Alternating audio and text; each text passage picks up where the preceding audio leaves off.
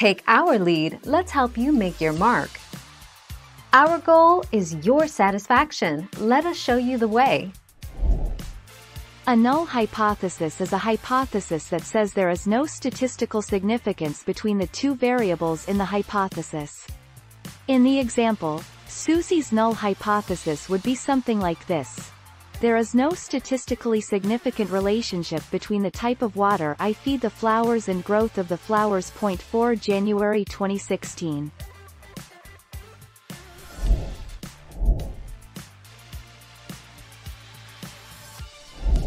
Let's help you make your mark. The null hypothesis is useful because it can be tested to conclude whether or not there is a relationship between two measured phenomena. It can inform the user whether the results obtained are due to chance or manipulating a phenomenon.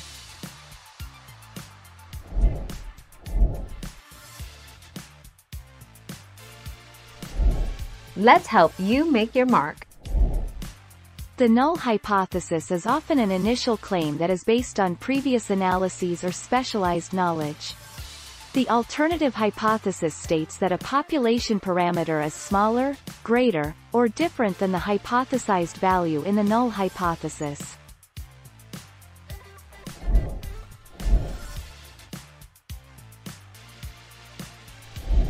Make your mark, take our lead. After you perform a hypothesis test, there are only two possible outcomes.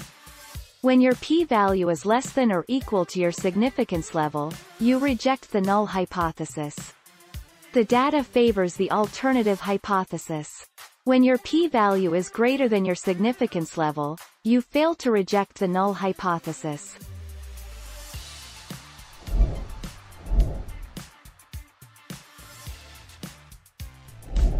Let's help you make your mark. D. In a scientific experiment, the null hypothesis is the proposition that there is no effect or no relationship between phenomena or populations.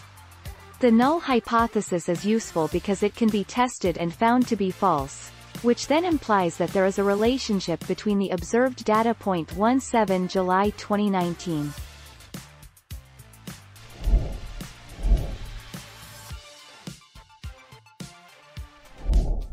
Take our lead. To write a null hypothesis, first start by asking a question. Rephrase that question in a form that assumes no relationship between the variables. In other words, assume a treatment has no effect. Write your hypothesis in a way that reflects this point for September 2019.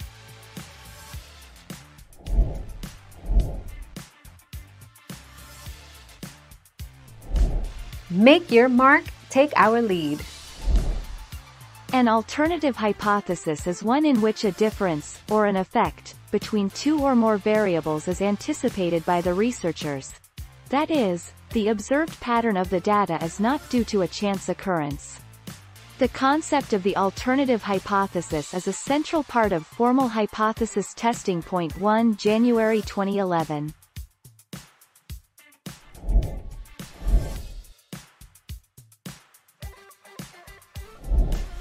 Take our lead. Here are some examples of hypothesis statements.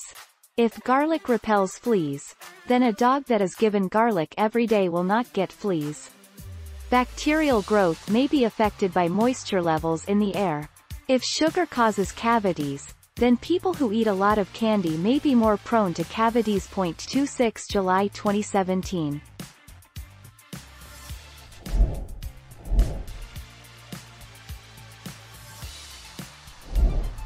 Take our lead. A statistical test is a way to evaluate the evidence the data provides against a hypothesis. This hypothesis is called the null hypothesis and is often referred to as H0. Under H0, data are generated by random processes. H0 is usually opposed to a hypothesis called the alternative hypothesis, referred to as H1 or HA.